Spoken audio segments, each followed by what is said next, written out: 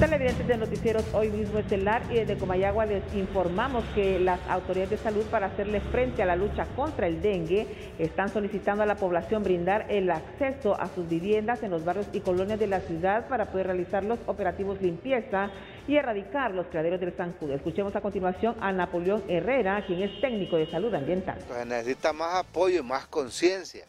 Eh, otro punto que es importante mencionarlo es que como la mayoría de gente trabaja, es demasiada casa cerrada la que encuentra. Entonces, ¿qué sucede? Usted visita un barrio, pero atrás de, la visita de ese barrio queda un porcentaje que yo creo que es más del 30-40% de casa cerrada. Y ese es el verdadero problema. Porque la casa que usted puede entrar, puede ver, puede tratar, puede, puede orientar qué va a hacer con los criaderos. Pero y la casa cerrada, ¿cómo hacemos? E, esto está como difícil y habrá que buscar, no sé, otra estrategia. Con esta importante información, desde Comayagua pasamos a los estudios principales de los noticieros. Hoy mismo en cámaras, Marvin Corea les informó Nelly Martínez. Es un placer saludarles televidentes de noticieros hoy mismo edición estelar de TSI. Hay preocupación en las autoridades de salud de este departamento de Santa Bárbara por el incremento de casos de la COVID-19 como también se presentan casos sospechosos de dengue en algunos eh, municipios. Vamos a escuchar a continuación al doctor Jorge Perdomo, subdirector de la región departamental de salud número 16. En este caso con el dengue se ha intensificado lo que son los brotes de dengue y como le estaba platicando a los compañeros que hay que borrar ese, ese chip de la población, que fumigando, fumigando se elimina el dengue, cuando la cosa no es así. ¿Qué es lo que se necesita? Mira, ayer, prácticamente nos enviaron a fumigar eh, una, cuadra de, de, de, un, municipio, pero resulta que la otra cuadra estaba llena de, de, monte, de, habían criaderos, incluso unas llantas ahí, entonces hay que borrar, hay que hacerle conciencia a la población de que esto no es solamente de, salud, también es por parte de la población que tiene buena importancia para poder eliminar esto, si no se nos va a ir de la mano. El doctor Jorge Perdomo, subdirector de la región de salud número 16 de Santa Bárbara, también ha manifestado que en los próximos días se va a estar interviniendo varios centros educativos donde hay sospechas de COVID-19 como también de dengue.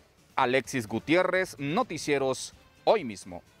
La sección de tecnología es presentada por Tigo, smartphone 4G LTE a 1399 lempiras. Tigo, la mejor señal y la mejor cobertura, conectando a Honduras. La última versión beta para desarrolladores de iOS 16, la nueva versión del sistema operativo para los iPhone que se lanzará, incluye una función nueva e interesante relacionada con la notificación de spams o mensajes SMS.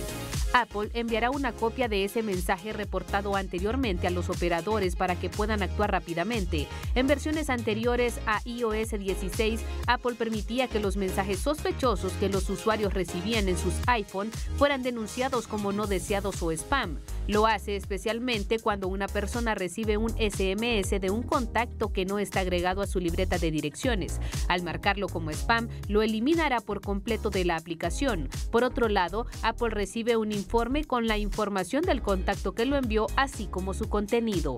Diana Palacios, Noticieros Hoy mismo. La sección de tecnología fue presentada por Tigo, Smartphone 4G LTE a 1399 lempiras. Tigo, la mejor señal y la mejor cobertura, conectando a Honduras. ¿Qué tal? Muy buenas tardes. Un placer es enorme poderles saludar desde la ciudad de Cihuetepeque. Este día hemos abordado al señor Manuel Cortés, quien es funcionario de la Empresa Nacional de Energía Eléctrica, con estas cuadrillas que andan efectuando labores de electrificación e iluminación en varios sectores de Cihuetepeque. Una cantidad enorme de, sectores del casco urbano y en los alrededores, en las comunidades rurales, de la falta de alumbrado público. Ante esta carencia, como institución ENE y aquí en nuestro sistema de Cihuatepeque, en el cual manejamos una cobertura de, de 11 municipios, estamos haciendo un trabajo programado, esquemático y bien planificado con el fin de ir cubriendo esta necesidad de alumbrado público. A nivel central de ENE, pues nos están facilitando los recursos, eh, los materiales necesarios para ir evacuando esta situación. Cabe destacar que la demanda es muy alta acá en Zihuatepeque, pero sin embargo es de alabar estas acciones que van pues, remediando un tanto la situación. Desde aquí, desde el Boulevard de la Carretera Internacional CA5, voy hasta Danlí con usted, Kenia Cáceres. Buenas noches. Buenas tardes a todo el teleauditorio de Noticieros hoy mismo. Equipo docentes de investigación de la UNATEP DAMLI han ganado un importante premio de más de 400 mil euros. Esto que permitirá continuar con las investigaciones de la planta de bioplástico. Dicho concurso se realizó con la Universidad de Sevilla. Escuchemos a Jaime Valerio, director de la UNATEP DAMLI. Estamos muy alegres porque la Universidad de Sevilla ha hecho un concurso a través del proyecto de bioplásticos, eh, obvio en unión con nosotros, la Universidad Nacional Autónoma de Honduras, y quedamos en quinto lugar de todas estas empresas que concursaron en España. Les pareció muy atractivo el proyecto de la planta de bioplástico y eh, la AESI, la Cooperación Española, nos ha premiado con esa cantidad de dinero, 423 mil euros, para continuar desarrollando investigación con la planta de bioplástico. Entonces, y bueno, se van a hacer varias obras más eh, relacionadas con esa planta de bioplástico. Entonces estamos muy alegres. Es así que el docente manifiesta que se está trabajando a todo vapor para echar a andar este proyecto tan importante de la planta de bioplástico, que son cucharas, platos y vasos que se estarán desarrollando con materia prima como yuca y otras harinas, de manera que vendrá a ser también un soporte económico para las familias en el departamento del Paraíso. Continuamos ahora con más información a través de su telenoticiero, hoy mismo edición estelar. Gracias Kenia y buenas tardes Honduras desde la ciudad Puerto de la Ceiba. Es un gusto a esta hora saludarles. Y en materia de noticias, eh, los pacientes renales se encuentran preocupados, esto ante la falta de medicamentos. Prácticamente el llamado es a las autoridades, al ministro de Salud para que pueda intervenir sus buenos oficios. Sabemos que hay mucha anuencia por parte eh, del señor ministro en el tema renal. Es para hacer el llamado pues, para que se nos haga el pronto abastecimiento del que es medicamento eritropoyetina, medicamento fundamental para la salud del enfermo renal, ya que pues sin este medicamento, en términos sencillos que entienda la población, es que nos hace como pacientes que no tengamos anemia y sin contar este medicamento pues va a haber una descompensación de salud, vamos a tener que pues transfundirnos de sangre, ingresarnos a un hospital y de igual manera generar más costos. Esto pues eh, ha habido el desabastecimiento de hace algunos días, pues eh, estamos sumamente preocupados. Esperamos de que en las próximas eh, semanas pues, podamos tener una pronta respuesta y que de igual manera se abastezca la Secretaría de Salud y puedan distribuir el medicamento a nivel nacional para que los pacientes renales podamos seguir pues, garantizando pues, de una buena salud. El llamado era por parte de Walter Amaya, presidente de los pacientes renales, al gobierno para eh, el abastecimiento de medicamentos. Mientras vamos a una pausa comercial, al retorno, más noticias. El precio del dólar y el euro es presentado por Bacredomatic con nuestra amplia red de Rapivac a nivel nacional. Realiza sin costo tus transacciones. El precio del dólar en Honduras compra 24.43 lempiras, venta 24.61 lempiras. El precio del dólar en Costa Rica venta 682 colones. Nicaragua 36.41 córdobas, Guatemala 7.92 quetzales, El Salvador 1 dólar, Panamá 1 dólar. El precio del euro en Honduras compra 24.68 lempiras, venta 27.19 lempiras. El precio del euro en Costa Rica venta 707 colones. Nicaragua 38.46 córdobas, Guatemala 9.03 quetzales, El Salvador 1.04 dólar, Panamá 1.04 dólar. El precio del dólar y el euro fue presentado por Bacredomatic. Porque valoramos tu tiempo y seguridad, hay un Rapibac siempre cerca. Muchas gracias. Converso con Juan Carlos Zelaya. Él es el presidente de la Asociación del Mercado Nuevo Municipal. Hay un importante proyecto, más de un millón de lempiras para mejoras al mercado nuevo. Así es. Sí, muy buenas tardes. Agradecemos la entrevista. Eh, hemos acordado junto con la Corporación Municipal eh, hacer una inversión que oscila alrededor de 1.300.000 lempiras para la ejecución de tres grandes proyectos para el mercado nuevo municipal. Eh, vamos a cambiar lo que es el sistema de tuberías, la reparación del techo para la eliminación de fugas por agua lluvia y la pintura total del mercado. Eh, pero después de estos tres grandes proyectos en ejecución, lo más importante básicamente eh, también es que tenemos un plan de trabajo para la reactivación económica de lo que es este mercado. Muy importante estos proyectos, ¿no? Porque esto va a generar que eh, las personas lleguen a, comprar a este mercado. Claro, claro, muy, muy importante. Este es un beneficio total, práctica, tanto para el locatario como para el público en general. Eh, muy, eh, la reactivación económica del mercado que, viene y, y, agradecido básicamente con el apoyo de la Corporación Municipal que está comprometida para la ejecución de estos proyectos. Juan Carlos Zelaya. Gracias Juan Carlos Zelaya, presidente de la Asociación de Locatarios del Mercado Nuevo cuando se va a invertir 1.300.000 empiras para mejoras de este mercado nuevo. Regreso a estudios. La noticia positiva es presentada por Óptica Popular. Que se vea lo bueno y en tu rostro la moda. Solo en Óptica Popular, la mejor óptica de Honduras.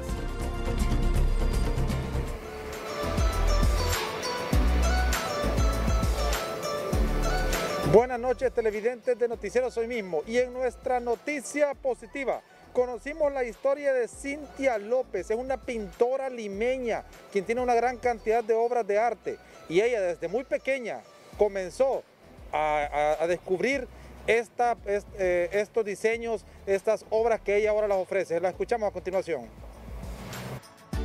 Pinto desde los 17 años, ahorita tengo 36 años y dibujo desde pequeña, desde los ocho años creo, porque fue el primer cuaderno que vi de dibujo era de los ocho años, no sé si antes ya dibujaba. Yo siento que soy un instrumento para eh, niños, más que todo, porque ahorita trabajo con una escuela, entonces en la escuela pues los más involucrados con el arte han sido los niños, los que más se conectan. Todo en la vida es un reto, no podemos eh, enfrentarnos a algo si no vamos enfrentando nuestros miedos. Entonces lo primero que nos vamos a encontrar son obstáculos. Esos obstáculos es para que nosotros vayamos aprendiendo a tener valor y a, poder superarnos a partir de, de saltar ese obstáculo o ese muro, no solamente en el arte, porque puede ser que alguien tenga una inclinación no en la pintura, sino que en la música. Actualmente Cintia Ramírez sueña con que sus obras de arte sean reconocidas tanto a nivel nacional e internacional. A continuación seguimos hasta La Ceiba con nuestro compañero Gustavo Bustillo. Gustavo, buenas noches. La noticia positiva fue presentada por Óptica Popular, que se vea lo bueno y en tu rostro la moda. Solo en Óptica Popular, la mejor óptica de Honduras.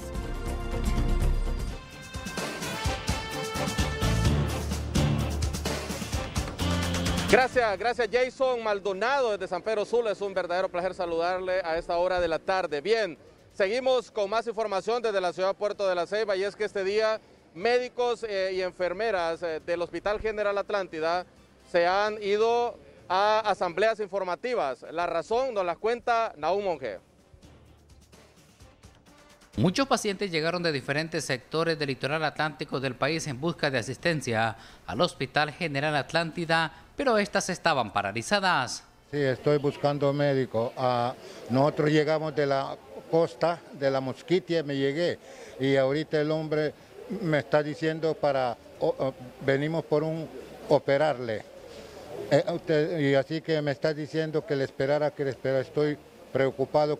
Ante estas acciones, las autoridades del principal centro asistencial lamentan que los médicos no hayan llegado a brindar atención a la población que tanto lo necesita. Nosotros somos más bien de los hospitales en donde estamos en el 99.5% de personal médico ya pagado al día. Solo es un 0.5% de médicos que todavía no, no han recibido su pago ¿verdad? Lo vamos, ya eso se está agilizando y ya para la próxima semana estoy segura de que todos han recibido ya su pago. Por su parte, las autoridades del Colegio Médico aseguraron que de no tener una respuesta positiva, las acciones continuarán para el día de mañana. En la Ceiba, un Monje, Noticieros hoy mismo. Bien, este es el común denominador en todos los centros asistenciales del país, la falta de pago. Mientras les pagan, esto sucede, Vamos con las noticias internacionales. Gracias. En efecto, han sido encontrados tres narcolaboratorios y están próximos a destruirse. Quien nos amplía en detalle de esta localización y las acciones a realizar es el comisionado Miguel Martínez Madrid, director de comunicaciones de la Secretaría de Seguridad. Muy buenas tardes.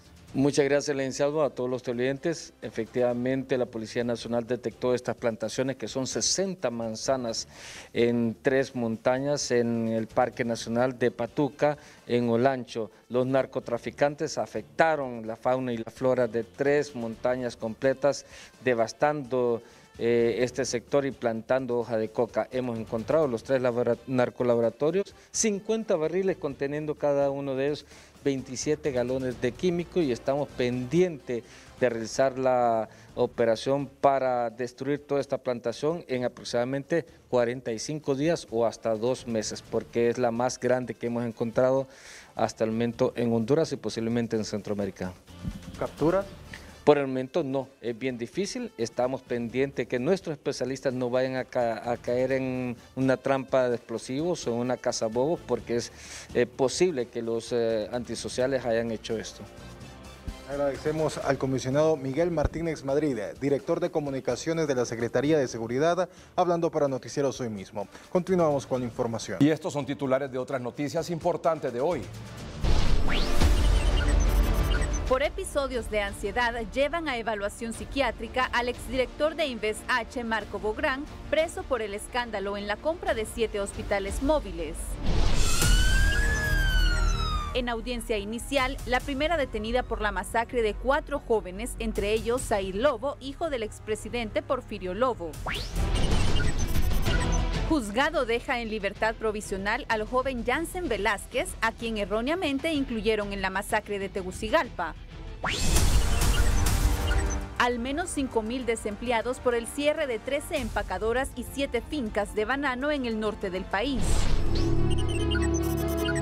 La policía encuentra los tres mayores narcolaboratorios hasta ahora y con gran cantidad de precursores químicos en Patuca o Lancho. El presidente de Estados Unidos, Joe Biden, dio positivo por COVID-19. Acusan en una corte federal de Estados Unidos a dos hombres por cargos relacionados con la reciente muerte de 53 migrantes en un contenedor en Texas. Este es su noticiero hoy mismo con Edgardo Melgar. Por episodio de ansiedad e insomnio, llevan a evaluación psiquiátrica al Hospital Mario Mendoza, aquí en la capital, al exdirector de Inves H, Marco Bográn, preso por el escándalo de la compra irregular de los siete hospitales móviles. Ya conoce usted la historia. La novedad es esta. Vamos con los detalles. Esta es la noticia del día. Fue entre las 8 y 10 de la mañana que Marco Bográn, exdirector de Invest H, fue atendido en el Hospital Psiquiátrico Mario Mendoza. Él fue atendido en el área de consulta externa el día de hoy por la mañana, entre 8 y 10 de la mañana, y él ya salió del hospital de retorno a su lugar de proceder. Las eh, informaciones íntimas sobre la atención y todo eso lo maneja el psiquiatra personal que le atendió y eso está protegido por el área eh, ética médica. Marco Bográn ha presentado conductas irregulares, dice su abogado defensor Mario Cárdenas. En las últimas visitas que hicimos, él no, eh, no, no estaba eh, captando lo que la defensa le decía, presentaba algunas pláticas que no consideramos que fueran coherentes Bajo esas circunstancias, nosotros tomamos a bien a llevar a un psiquiatra para que le hiciera los respectivos análisis y de acuerdo a las resultas, pues hacerle las peticiones al órgano jurisdiccional. Bueno, una de las posibilidades podría ser eh, pedir una revisión de medidas. La restricción de algunas actividades de recreación es lo que le ha afectado, aseguró su abogado Marco Tulio Castro. Parece ser que nuestro amigo Gran está padeciendo de algunos eh, eh, episodios de ansiedad. Según él, debido a que lo han privado de algunos eh, de algunas situaciones que antes él estaba gozando, por ejemplo, como tener un aparato para oír música, libros para leer, etcétera. Todo eso parece ser que no se lo han permitido y eso ha contribuido a, a la situación que le está pasando. El psiquiatra Javier Uclés manifiesta que la conducta de ansiedad se da mucho en personas privadas de su libertad. El hecho de que el- la persona eh, simule, porque pueden haber simuladores, gente que está que tiene que han cometido delitos, pero simulan enfermedades porque el comportamiento sociopático del, del, del- del reo, en ese caso, se, se inventa como, como, como cierto teatro para poder manipular la situación. Y es esa precisamente la preocupación de algunos críticos. el Ministerio Público debe estar muy alerta y que al final del camino, eh, si es real que él está teniendo un padecimiento, se pueda comprobar y si no, que no sea una herramienta de uso eh, para librarse de, de, esos, de esas cosas que debe cubrir eh, en- en privación de libertad. Los portavoces del Ministerio Público manifestaron que el único ente judicial que puede certificar si Marco Bográn presenta algún problema psiquiátrico o no es medicina forense y esto aún no ha sucedido. Marco Bográn fue condenado a 10 años y 11 meses de prisión por fraude agravado en la compra de siete hospitales móviles y deberá pagar una multa de 1.400 millones de lempiras al Estado hondureño. También enfrenta otro proceso por la compra irregular de 474 mil mascarillas durante la pandemia del COVID-19. Evelyn Pérez, Noticieros Hoy mismo. Esta fue la noticia del día. Hablando de los hospitales móviles, en total abandono se encuentran la mayoría de estos hospitales móviles en el país que fueron comprados, acuérdese usted, eh, durante a inicio de la pandemia y supuestamente para atender pacientes eh, COVID. Bueno, a la población hondureña reacciona evidentemente molesta porque evidentemente si se hubieran instalado como lo prometieron, se habría evitado tanta, tanta muerte durante, durante esta pandemia que, que to- todavía hoy nos afecta. ¿no? Hoy- el reporte oficial es de tres personas fallecidas, pero nunca al nivel de lo que pasó en 2020 y 2021. Lleno de maleza y con los portones cerrados se encuentra el hospital móvil en La Ceiba. Sectores sociales lamentan lo que llaman un gran fraude. Si es algo en lo que ha tenido éxito Marco Pográn es que logró instalar en todo Honduras el gran símbolo de la corrupción. Más de 48 millones de dólares, estamos hablando más de mil millones de lempiras que fueron tirados a la basura. Hoy, sin poder prestarle un servicio, sabiendo que ahorita hay un nuevo repunte por el COVID-19, Con la instalación de los siete hospitales móviles se tendrían al menos 500 camas y de estas unas 140 de UCI. Sin embargo, aparte de que no están equipados para situaciones de gravedad como se prometió, están en su mayoría abandonados. El Hospital Móvil de Copán atendió pacientes leves de COVID-19 hasta enero de este año. Actualmente es para patologías respiratorias. El Hospital Móvil de San Pedro Sula atiende pacientes leves de COVID-19. El Hospital de La Ceiba en total abandono, sin uso. El Hospital de Juticalpa en funcionamiento, pero para otras patologías como medicina interna. El Hospital de Choluteca atiende pacientes de medicina interna y pediatría. El hospital de Danlí está sin uso, nunca fue entregado por Inves H a las autoridades del Hospital Gabriela Alvarado y el Hospital Móvil de Tegucigalpa es para atención quirúrgica de cirugía menor del Hospital Escuela. Francis Espinal, Noticieros Hoy mismo.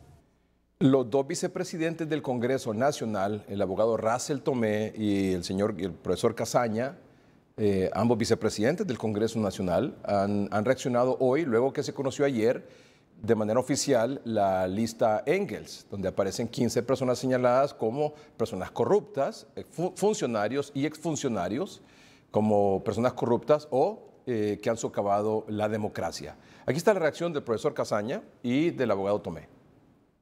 los nombres de ustedes aparecer en la lista. Ellos son los dos vicepresidentes del Congreso Nacional que figuran en la lista Angel, señalados como corruptos por el Departamento de Estado de los Estados Unidos. Russell Antonio Tomé Flores, vicepresidente del Congreso, incurrió en corrupción significativa cuando usó su posición como presidente de la Comisión Nacional de Telecomunicaciones para malversar aproximadamente 327 mil dólares en fondos públicos. Y es tan burdo el ataque político y evidente ante los ojos del pueblo que conocen de nuestra hoja de vida. Nunca he tenido ninguna acusación en los tribunales porque yo haya tomado un lempira del pueblo hondureño.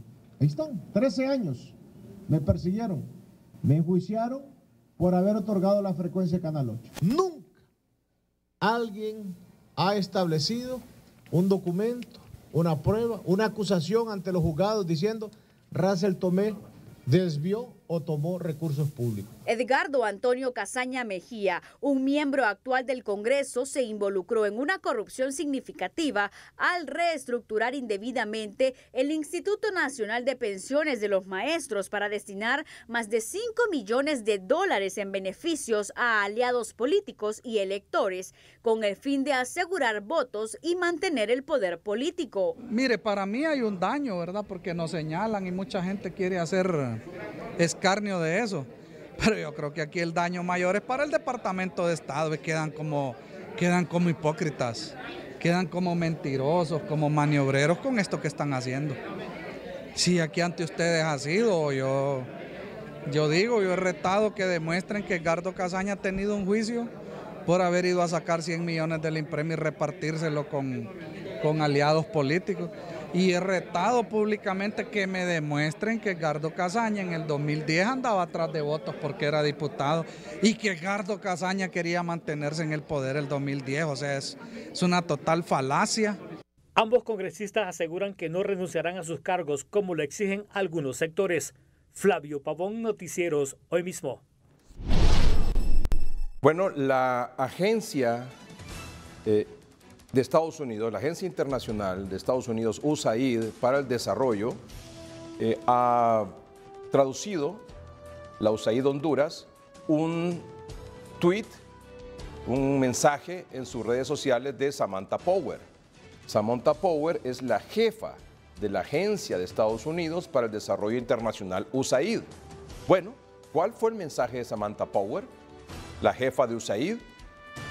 La corrupción socava el desarrollo, debilita la democracia y perjudica a los más vulnerables. USAID apoya a los pueblos de El Salvador, Guatemala, Honduras y Nicaragua mientras siguen presionando para que los que ocupan puestos de poder rindan cuentas y sean más transparentes. Obviamente esta publicación de Lista Engel ha traído más reacciones de todo tipo y aquí se las seguimos presentando. A través de un comunicado, el gobierno reaccionó. El gobierno de la República desea expresar su rechazo categórico a la lista Engel publicado recientemente por el Departamento de Estado de los Estados Unidos por tratarse de la misma de un documento motivado políticamente e injerencista. Que no es la primera vez que se dan declaraciones que pueden ser o que se dan eh, intervenciones que podemos catalogar como injerencistas. También lo que sorprende es que son procesos que tienen más de una década. Todos ellos han estado siguiéndose los procesos incluso antes del golpe de Estado. Y es hasta este momento cuando es políticamente eh, visible que se les incluye. Mientras el abogado Odir Fernández cuestionó que defiendan lo que antes criticaban. El mismo discurso que hace un año se presentó eh, no es nada nuevo en donde se está ocupando la institucionalidad para defender personas. La acusación, el listado, el señalamiento no va dirigido al Estado de Honduras, sino que directamente a personas. Sin embargo, el Estado se está prestando para poder emitir respuestas y juicios de valor, volviéndose defensores de determinadas personas. Esto en realidad únicamente es una, una respuesta intolerante, que finalmente no pone las barbas en remojo para analizar qué es lo que hay que hacer. El pasado 26 de marzo de 2021, el diputado Harry Dixon tuiteó, solo faltan cinco días para que conozcamos la lista Engel, así que sigan comiéndose las uñas. Ahora reaccionando a la nueva lista Engel, donde hay varios miembros del Partido Libertad y Refundación, dijo, Una cosa es un traficante de drogas, ¿verdad? Que, como dice el comunicado, nunca apareció en esa lista Engel, pero sí fue extraditado posteriormente y el caso de los compañeros, le, pongo un ejemplo, por ejemplo. Eh, el caso de Edgardo Casaña. Aparece en, en, la, lista Engel, donde aparece inclusive el Tigre Bonilla. El Tigre Bonilla por traficante de droga, por, por colaborar con el calter de drogas que dirigía Juan Orlando Hernández en este país. ¿Cuál es el pecado de Edgardo Casaña en todo esto? Que levantó la mano en una junta directiva de Imprema para que le aumentaran 300 lempiras a los maestros jubilados y por eso lo condenaron. Entonces hay una diferencia abismal entre un caso y otro caso. Las reacciones en redes sociales no se hicieron esperar. El economista Roberto Lagos, increíble la institucionalidad al servicio de las personas. Todo funcionario o exfuncionario que aparezca en la lista Engel, independientemente del partido político al que pertenezca, debe hacerse a un lado de su cargo y ser investigado. Fundación 15 de septiembre. Presidenta Xiomara Castro, la corrupción ha sido el cáncer que por décadas ha obligado a migrar del país a más del 20% de la población hondureña. Los migrantes hondureños que aportamos el 26% del Producto Interno Bruto rechazamos este tipo de posturas de parte de su gobierno. El jefe de la bancada del Partido Nacional, Tomás Zambrano, el gobierno de Libre solo es ñangaradas. ¿Cómo es posible que el año pasado celebraron con cohetes y cacerolas la lista Engel del 21, como no salían de su partido, pero hoy que la lista incluye la gente más cercana al poder es una política intervencionista. Se les cayó la máscara. Finalmente, el asesor presidencial y expresidente de la República, Manuel Zelaya Rosales, tuiteó, lo que fue malo ayer sigue siendo malo hoy. Protesté desde la primera publicación de la lista en el 2021. Lista Engel. En El Salvador tiende un manto de impunidad a sus amigos de arena y condena al presidente Bukele. Y en Honduras alienta sin disimulo la tiranía hecha gobierno. No toca ni con un pétalo de rosa a su aliado Jo. Francis Espinal, Noticiero Soy Mismo. Esta tarde, el señor canciller de la República, don Eduardo Enrique Reina, a través de sus redes sociales, manifestó lo siguiente. Falta una lista Berta Cáceres que incluya a los que respaldaron desde otros países el acto corrupto de un golpe de Estado, dos fraudes electorales. Mantuvieron en el poder una narcodictadura corrupta por 12 años que abusó de la justicia, la politizó e hizo sufrir al pueblo. Bueno, y hoy una diputada nacionalista eh, ha lanzado un reto, porque usted sabe que en la lista, más o menos para esta misma fecha de julio de 2021, eh, la mayoría de los que ahí aparecieran eran eh, miembros del Partido Nacional y del Partido Liberal. Ahora en 2022 siguen apareciendo de estos partidos y ahora incluyeron a gente del Partido Libertad de Refundación. y pues ella ha propuesto, dice, bueno, hagámosle un juicio político a todos a los de mi partido y al de los otros. Aquí está. El presidente del Congreso Nacional, Luis Redondo, tuiteó hace un año, sí al juicio político contra diputados criminales señalados en la lista Engel y aquí en Honduras. Hoy la diputada nacionalista Antonieta Mejía le lanza un reto. Con la confirmación del Departamento de Estado del día de ayer, que integra 15 hondureños, donde destacan un asesor presidencial y dos miembros de la Junta Ilegal de FACTA, Creemos que se debe de ver con lupa si se habla de un Congreso diferente donde el compromiso debe ser el combate frontal a la corrupción.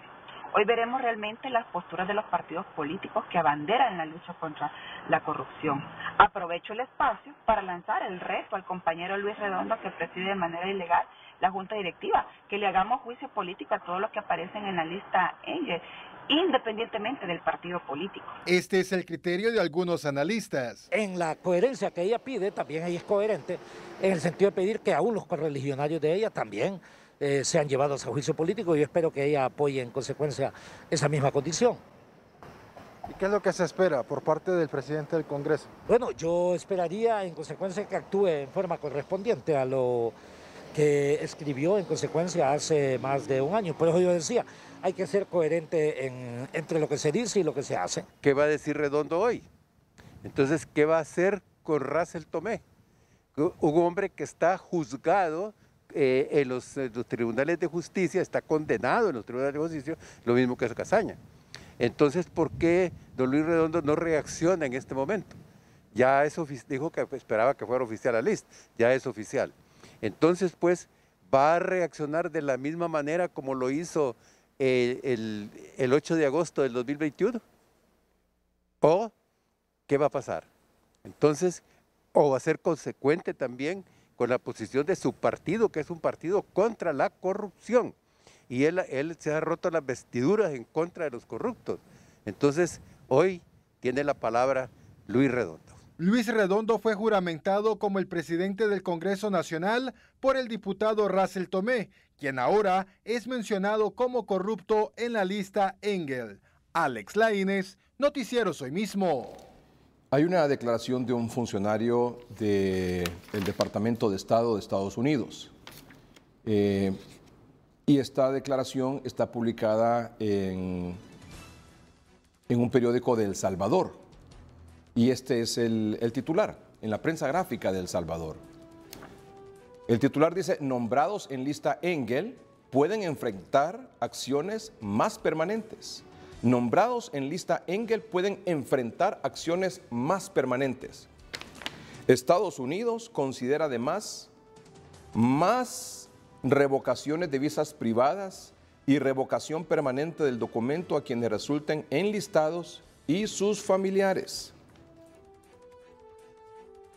Y vean que, la coincidencia, ¿verdad? Mientras algunos funcionarios salvadoreños le restan peso a la seriedad de la lista Engel, o listado de actores corruptos y antidemocráticos de Estados Unidos, el director de la Oficina de Asuntos Centroamericanos del Departamento de Estado, Patrick Vendrell, aseguró que si los nombrados en los documentos de 2021 y 2022 no cambian de comportamiento, podrían enfrentar acciones permanentes.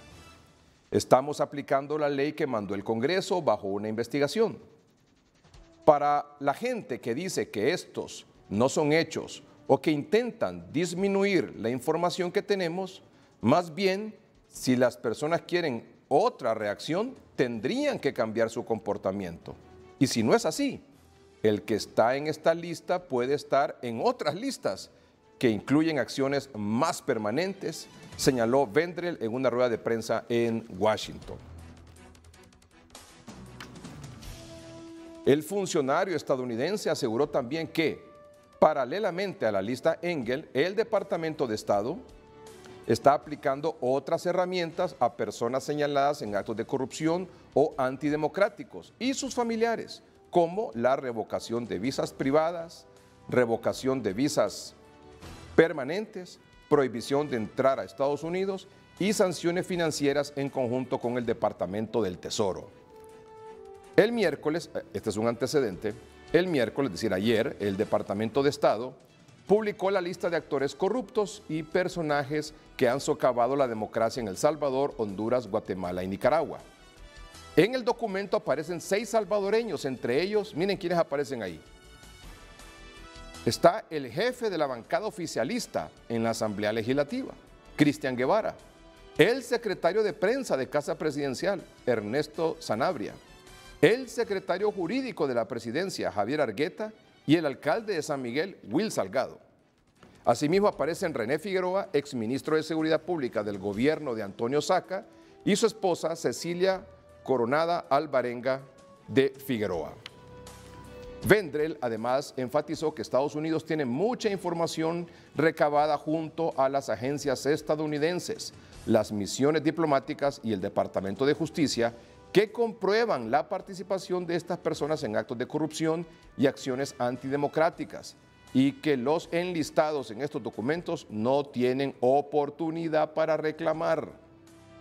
Por lo tanto, se descarta que los nombrados como actores corruptos puedan iniciar procesos para que el Departamento de Estado los retire de las listas. Atención a esto. Vendrell además enfatizó que Estados Unidos tiene mucha información recabada junto a las agencias estadounidenses, las misiones diplomáticas y el Departamento de Justicia que comprueban la participación de estas personas en actos de corrupción y acciones antidemocráticas y que los enlistados en estos documentos no tienen oportunidad para reclamar. Por lo tanto, se descarta que los nombrados como actores corruptos puedan iniciar procesos para que el Departamento de Estado los retire de las listas. El viernes pasado circuló en las redes sociales un documento que supuestamente era el borrador de la lista Engel. Al respecto, el director de la Oficina de Asuntos de Centroamérica del Departamento de Estado aclaró que para entonces no había ninguna decisión tomada sobre quiénes estaban o no incluidos. No podemos hacer ningún comentario hacia ninguna lista que no sea la que está dada hoy, Antes de hoy no hubo ninguna decisión tomada y solo se aceptan los nombres que han sido incluidos bajo las autoridades, el secretario de Estado y que han enviado, han sido enviados al Congreso. Así que no podría comentar de ninguna supuesta filtración que no sea la lista que hemos dado hoy, aseguró. Además, Vendrell reiteró que Estados Unidos está buscando espacios para colaborar con el gobierno salvadoreño y con los otros gobiernos de la región para que la falta de acciones en estos países para combatir la corrupción imposibilita ese objetivo. Ojo con esto. Además, Vendrell reiteró que Estados Unidos está buscando espacios para colaborar con el gobierno salvadoreño y con los otros gobiernos de la región, pero que la falta de acciones en estos países para combatir la corrupción imposibilita ese objetivo. El funcionario también señaló que estas listas son una advertencia que deben tener clara otras personas que ocupan cargos públicos o que están en el sector privado y que cometen actos de corrupción o antidemocráticos. Hemos sido claros en situaciones de actos de corrupción y de bienestar y salud de la democracia de El Salvador. La sanción de no poder entrar a Estados Unidos es algo grave para muchas personas. Entendemos que hay algunos que dicen que esta lista no les impacta o que no va a ser suficiente para parar sus acciones. Estamos listos para seguir utilizando nuestras herramientas y estamos trabajando constantemente con el Departamento de Justicia y el Departamento del Tesoro. este es un resumen de las declaraciones del el director de la Oficina de Asuntos Centroamericanos, del Departamento de Estado Patrick Vendrer en relación a la lista Engel que fue publicada oficialmente ayer miércoles.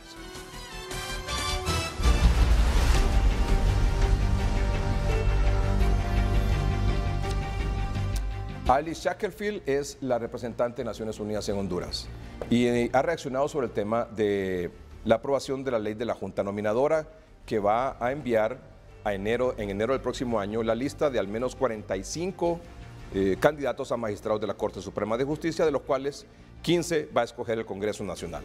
Bueno, ¿qué ha, dicho la señora Alice Shackelford?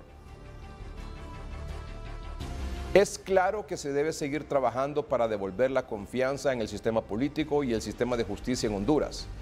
La integridad de las candidatas o candidatos, la separación de los poderes y un proceso transparente son fundamentales para esa confianza en el país y sus instituciones. La recién aprobada ley para asegurar transparencia en elecciones de magistrados o magistradas de la Corte Suprema de Justicia que garanticen candidaturas íntegras es un paso positivo para afianzar el Estado de Derecho. En los próximos pasos, la veeduría ciudadana será crítica. La responsabilidad de la Junta Nominadora es aplicar la matriz de evaluación, que incluye varias inhabilidades de forma responsable para asegurar una Corte Suprema de Justicia íntegra e independiente.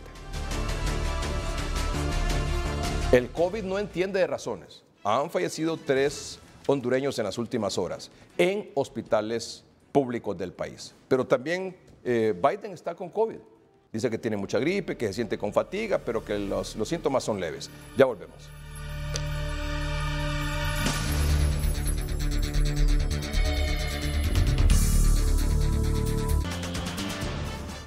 Bueno, se ha realizado hoy la audiencia inicial en los tribunales eh, con jurisdicción nacional de la señora Norma Alicia García, de 58 años de edad, implicada en la masacre de cuatro jóvenes, entre ellos el hijo del expresidente Porfirio Lobo Sosa, como usted sabe, ocurrido en el Boulevard Morazán el pasado 14 de julio. De hecho, hoy, también en la presentación de otros de los eh, supuestos implicados eh, en esta masacre, uno de ellos recibió libertad provisional. Eh, libertad, o sea, sobreseimiento provisional. Eh, aquí están los detalles.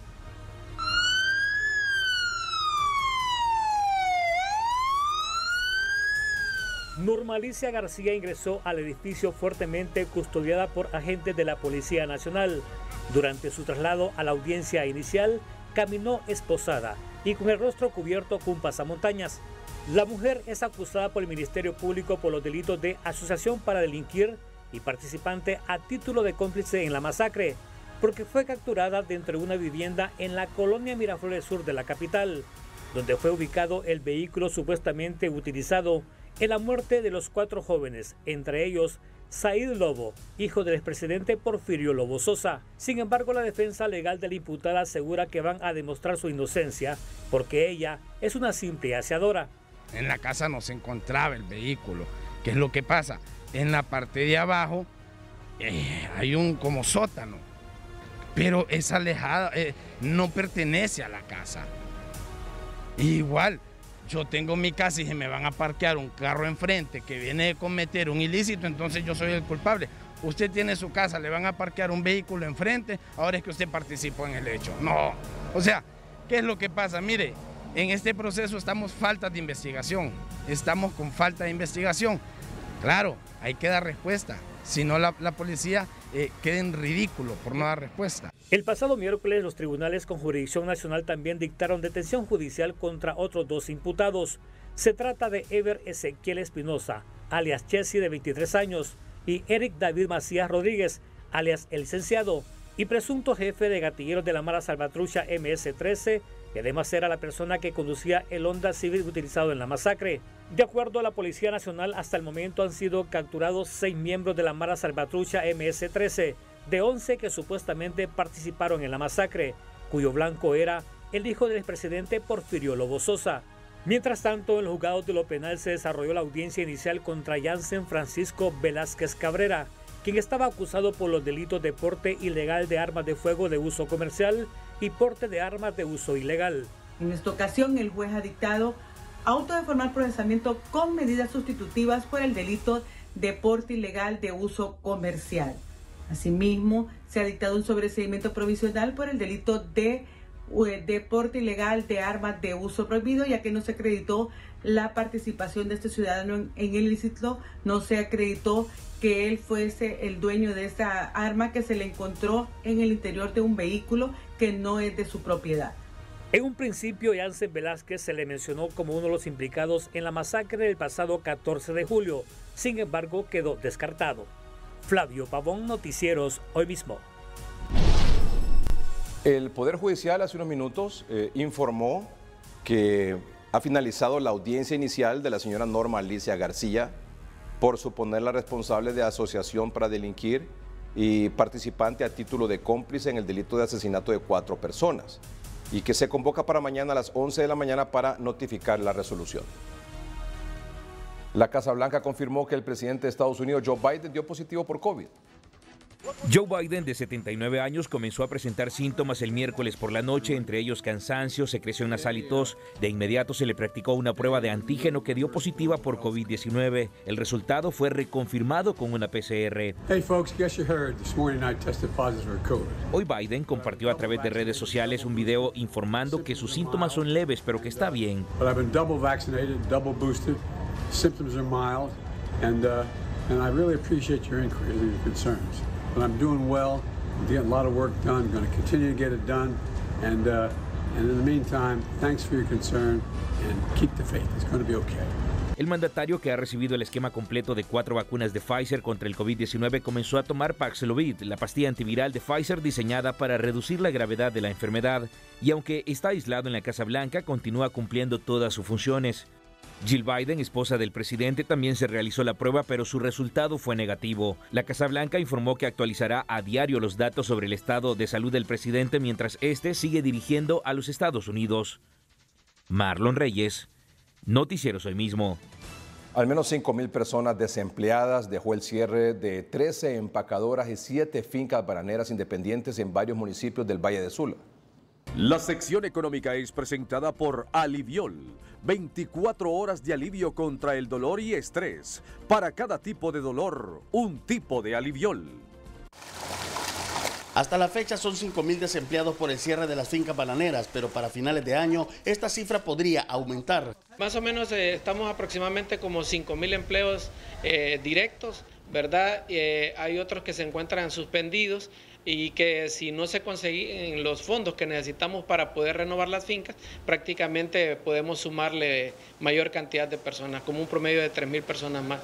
¿verdad? De hecho, el, primer grupo de despidos que se hicieron eh, hoy en día forman parte de esa gran cantidad de personas que van en caravana mojado hacia Estados Unidos debido a que no hay empleo en la zona norte en estas fincas que antes teníamos en producción de banano. El cierre de estas fincas bananeras ha dejado desempleo y pérdidas económicas millonarias. Estábamos hablando prácticamente como de unos 40 millones de dólares que prácticamente se estaría dejando de percibir. Ahorita se están generando solo como 8 millones de, dólares las, las eh, que cuatro fincas que están prácticamente exportando. Son 13 las empacadoras y 7 fincas cerradas, 5 más que están inhabilitadas a la espera de un financiamiento para fin de año. De no obtenerlo, estas cerrarían operaciones dejando otros 3.000 desempleados. José Luis Herrera, Noticiero Soy Mismo. La sección económica fue presentada por Aliviol 24 horas de alivio contra el dolor y estrés. Para cada tipo de dolor, un tipo de aliviol. El secretario de la Presidencia, Héctor Manuel Zelaya Castro, informó hoy a través de sus redes sociales que en reunión con el presidente de Samsung de Latinoamérica hablamos de las posibilidades de inversiones en temas de educación digital y de nuestro interés por el programa de innovación de campus, entre otros, para impulsar la educación STEM en Honduras. Y acompaña con algunas fotografías de los ejecutivos de Samsung que estuvieron esta semana aquí en el país. Atletas y voluntarios de Olimpiadas Especiales realizaron hoy una jornada de recaudación de fondos denominada Recolectando por la Inclusión. La actividad se desarrolló desde las 9 de la mañana hasta las 4 de la tarde en el marco de la campaña Vístete de Rojo por la Inclusión y los atletas estuvieron en diversos puntos de la capital. Como parte de nuestra campaña Vístete de Rojo por la Inclusión que la hemos venido desarrollando durante todo el mes de julio y hoy estamos diseminados en varios puntos de Tegucigalpa llevando a cabo la recolecta y espero que toda la población hondureña nos pueda apoyar en esta bonita causa del día de hoy. Sí, estamos muy agradecidos con la población, pues hemos tenido eh, apertura de ellos. Los fondos recaudados serán destinados a las distintas actividades de Olimpiadas Especiales. Para beneficio a más de 2.300 atletas que tenemos a nivel nacional y espero que nos puedan apoyar para poder recolectar y poder ayudarnos en lo que son los viajes, en todo lo que es las ayudas y para que nos puedan ayudar a todos los atletas. Este domingo 24 de julio en la Villa Olímpica se llevará a cabo la carrera canina desde las 7 de la mañana. Puede adquirir su kit en las oficinas de Olimpiadas Especiales. Evelyn Pérez, Noticieros Hoy mismo. Tres narcolaboratorios repletos de precursores para la producción de droga fueron incautados por la Policía Nacional en Patuca, Olancho. Oscar Valdés tiene la información.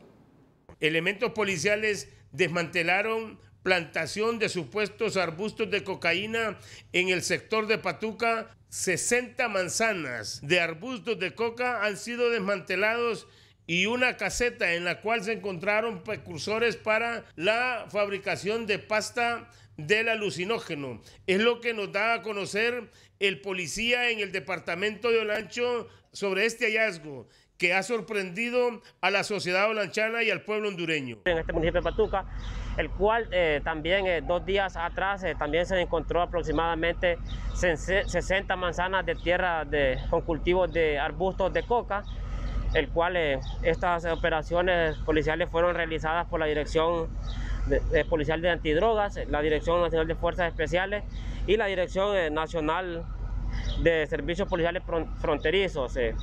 Asimismo, también es importante mencionar que que estos, eh, estos eh, narcolaboratorios eh, eran utilizados para la extracción y procesamiento de, pasta de, la, de la hoja de la cocaína. Hasta el momento no, no hay personas detenidas, el cual la Policía Nacional está trabajando, haciendo las diferentes investigaciones para así dar con el paradero de, de estas personas que dedicaban a esto, esto del narcotráfico. Así están las cosas, así se las cuento. Oscar Valdés, Noticieros Hoy mismo, Juticalpa. Muy bien, gracias Oscar. Tenemos aquí en el estudio esta noche la grata compañía de Laura Mesa. Ella es presentadora de este exitoso programa eh, Con Todo, que se transmite por las tardes en Canal 5. Bienvenida Laura. Gracias, gracias. Siempre para mí es un gusto, un honor poder estar en este espacio tan visto y sobre todo que siempre nos informamos a través de este canal. Licenciado, pues yo muy contenta de venir acá, muy feliz porque hace un año, mañana ya que nosotros vamos a celebrar nuestro primer aniversario, que estamos... Vino usted, ¿verdad? Creo, para Precisamente yo vine comenzar para el programa, anunciarlo. ¿verdad? Ahí Hace estábamos como un sueño y ahora una realidad. Mira qué bien Mire le fue ese programa por haber venido aquí a anunciarlo y a promoverlo. Sí, nos dio la a patadita la buena suerte. claro, por supuesto. Ya mañana, 22 de julio, estamos celebrando nuestro primer aniversario. Mañana, 22 de julio, mañana viernes, me imagino habrá un programa especial. Claro que sí, habrá un programa especial. eh, pues nosotros nos sentimos muy orgullosos de poder decir que con todo es un programa que ha beneficiado a muchas familias, además de generar entretenimiento que necesitamos también ese entretenimiento sano en nuestro país, pues también hemos dado mucho dinero en efectivo, electrodomésticos, motocicletas. Imagínense, es el programa que da la oportunidad de que todos los días se pueda ir una motocicleta. Me dice Es que, que, que- que- se reporta al menos 3 millones de lempiras en premios. Claro que Y además sí. de 30 motocicletas. Es correcto. Imagínese todo lo que se ha logrado y lo Claro. que se viene, si Dios lo permite, y si el público lo permite. Mañana tenemos una programación especial, siempre en nuestro mismo horario, de 3 a 5 de la tarde, un programa diferente, tendremos público, la familia de Con Todo, que son nuestros televidentes, tendrán la oportunidad de estar mañana.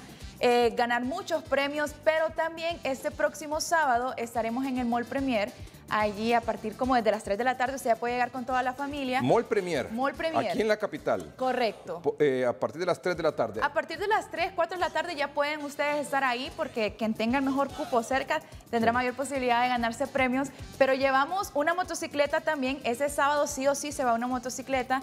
eh, más de 200 eh, premios, dinero en efectivo, en fin.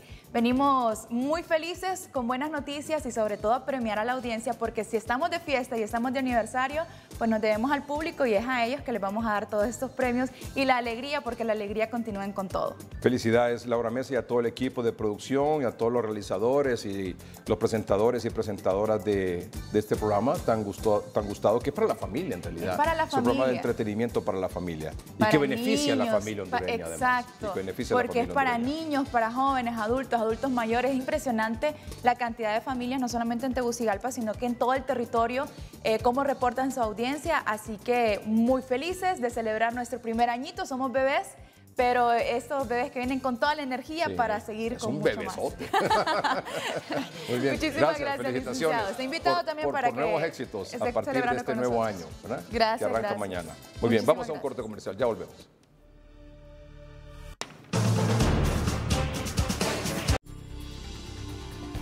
Doctor Omar Videa, buenas noches, como todos los jueves. Gracias por estar aquí.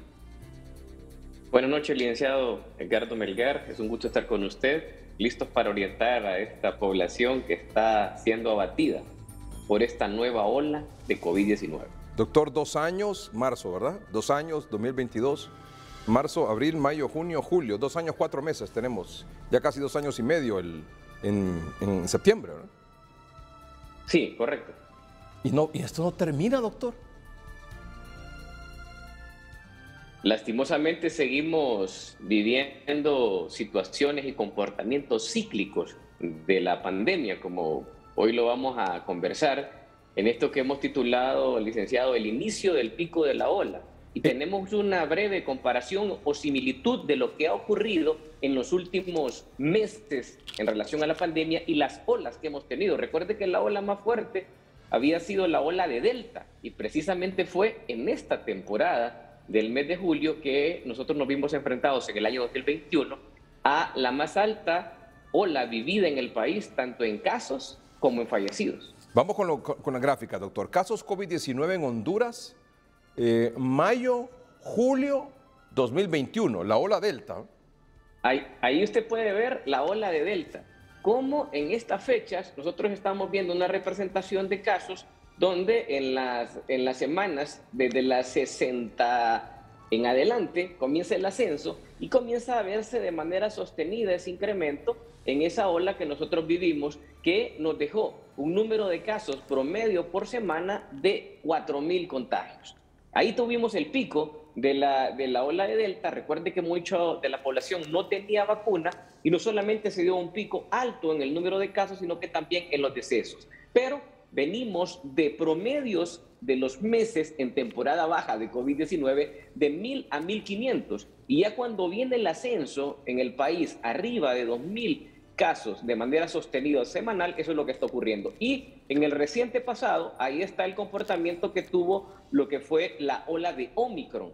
cuando en la quinta semana después del ascenso de los casos, usted ya comienza a ver el comportamiento ascendente y en la quinta semana encuentra el pico, la ola. Posteriormente vienen tres a cuatro semanas donde los casos comienzan a descender. O sea, una ola tiene un tiempo de duración promedio en el país con el comportamiento anterior de aproximadamente 10 semanas. En este momento estamos en la semana número 5 y vea cuáles son los resultados de ese pronóstico de la llegada al pico de la ola. En este momento estamos registrando un número de contagios significativos, 3.086 casos. La semana anterior, 1.977. Significa un incremento de un 56% y una curva con un ascenso no visto en ninguna de las otras olas vividas en el país. Un momento, póngame, perdón doctor, perdón que lo interrumpa doctor, solo quiero que me ponga esa, esa, esa, imagen en pantalla, a, pantalla completa, por favor. Vea usted lo que está trayendo el doctor eh, Omar Videa esta, esta noche. Del 13 de julio 1977, se hace una semana. Y ve ahora 3.086, doctor. Y antes 594. Vea cómo es el ascenso marcado, es un ascenso acelerado. Esta, esta, esta posición prácticamente uh, vertical hacia el ascenso no se había visto en ninguna de las gráficas anteriores presentadas, donde usted ve que va un incremento lineal, pero en este momento ha tenido un pico muy significativo, no comparado con ninguna otra de las olas sí, Sí, y en por efecto. Eso que ahora ya tenemos un incremento eh, de casos que es significativo y hay que aclarar algo. Esta es la cantidad menor de pruebas en las olas y estamos viendo esa cantidad de casos. O sea, ¿qué significa? Una positividad muy alta y nos arroja en este momento 434.314 contagios. El número de fallecidos se comienza a incrementar, ya vamos a hablar de los fallecidos, 10.926 y una tasa de letalidad del 2.5%. Ahí vemos en la gráfica ya cómo está la distribución del mapa. Vea, esto es eh, el impacto. 748 contagios en el primer lugar, el Distrito Central, pero seguido de el departamento de Cortés como departamento, Ahí estamos viendo concentrados 376 contagios y 340 en Lloro. Pero hay algo muy importante que hay que destacar en esta noche. El 20% de los casos son en, el Distrito Central, solamente el 20%. Teníamos más de cinco meses que el Distrito Central ocupaba entre el 40 y el 50, pero aquí hay una distribución comunitaria y generalizada, regiones tras regiones, todos están representando en este momento un porcentaje significativo de casos, un incremento nacional de casos de COVID-19 y eso realmente preocupa porque no está concentrado en un departamento en particular. El más eh, numeroso en casos, en la región del Distrito Central, solo ocupa un 22%. O sea, que el 78% de los casos están fuera de Tegucigalpa. Bueno, exactamente. Fíjese, doctor, que eso usted lo dijo también hace un mes, mes y medio, cuando precisamente usted estaba, eh, lo que dijo hace unos momentos, haciendo referencia a que eh, hace un mes, mes y medio, los casos se concentraban solo en, Francisco Morazán y, particularmente en el Distrito Central, luego San Pedro Sula y otros, otros eh, pocos casos a nivel nacional.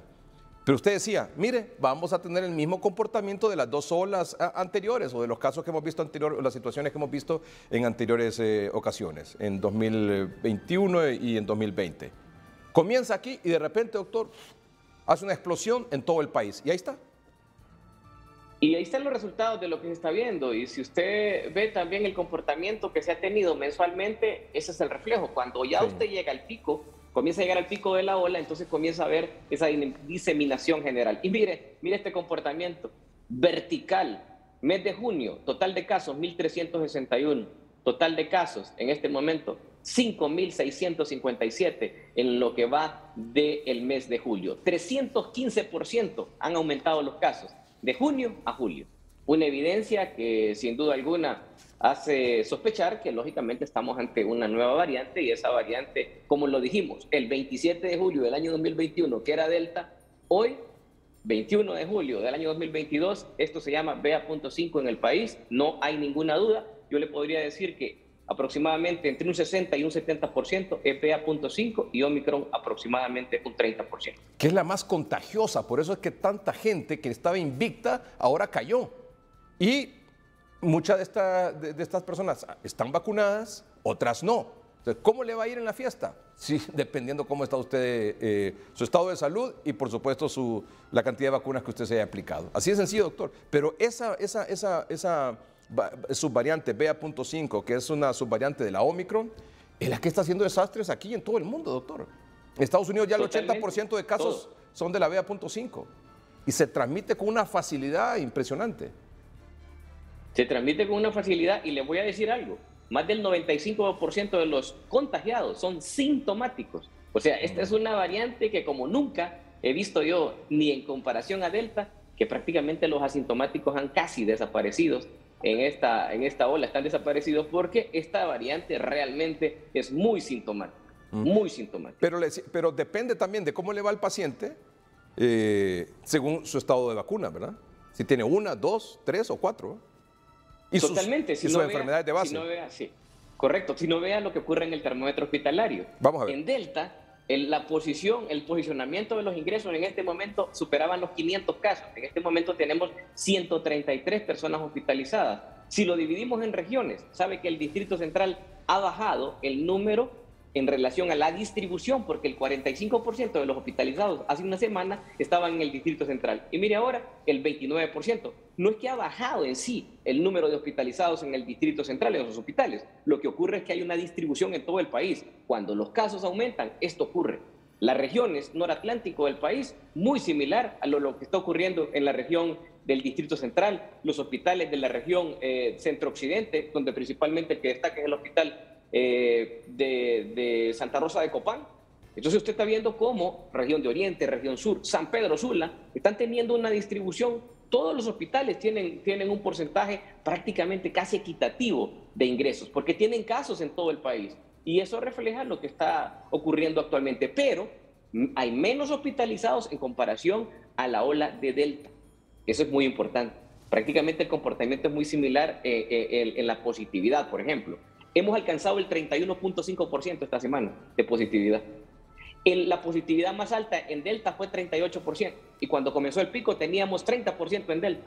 O sea, tenemos 1.5% más de positividad en la quinta semana de la variante BA.5 sospechosa en Honduras a comparación de Delta en julio, que teníamos un 30%. Doctor. Y llegó el pico máximo al 38%. Más positividad, más contagiados, eh, casi todos, por no decir la mayoría, sintomáticos, o sea, con síntomas, pero menos hospitalizados. Correcto, menos hospitalizados, menos hospitalizados. Y la única diferencia aquí es que ahora hay una población en mayor porcentaje vacunado, es de los que teníamos en el mes de julio del año 2021. Aunque todavía hay por lo menos 2.300.000 personas con una dosis o con ninguna dosis. Sí, correcto. Eso todavía eh, sigue en el país. Y mire este último dato, que es el tic-tac de la ola. Mire estos datos en números, en números de reloj. ¿Qué es lo que está ocurriendo? Cada tres minutos en las últimas siete días se detecta un caso por COVID-19. Cada hora se registra un ingreso de un paciente por COVID-19 a la red hospitalaria pública. Y lo más lamentable, en esta semana, cada 13 horas fallece un paciente confirmado por COVID-19 según las estadísticas nacionales. 13 decesos se han registrado de manera oficial y los sospechosos suman prácticamente el doble. O sea, estamos volviendo nuevamente a la cantidad de fallecidos que, eso sí, hay que mencionar, superan a la variante Omicron. El número de fallecidos es mayor y será mayor con esta ola que con la ola de Omicron. Doctor, hoy se reportan tres fallecidos, por ejemplo, y los tres confirmados. Eh, uno reportan en San Lorenzo y dos en el Hospital Escuela, aquí en la capital.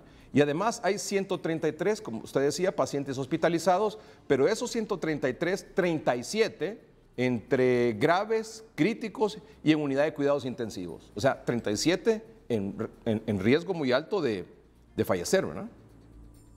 Sí, no hay que confiarse. Definitivamente esta, esta, esta ola, los síntomas de esta variante son muy rápidos. Usted a las 24 horas está con síntomas y prácticamente a las 48 horas ya está siendo hospitalizado si no tiene un manejo y un abordaje temprano. Doctor, de nuevo, muchas gracias por estar con nosotros, eh, como cada jueves. Un gusto, licenciado. Gracias. Gracias. El doctor Omar Videa, asesor y consultor de noticieros hoy mismo en el tema del COVID. Gracias a ustedes por su atención. Buenas noches y que estén bien.